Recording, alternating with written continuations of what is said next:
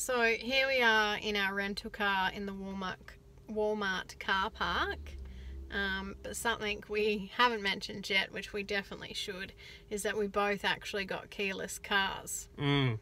So, um, quote of the day this morning was uh, Dan asking where the car key was and me letting him know that it was still in the ignition.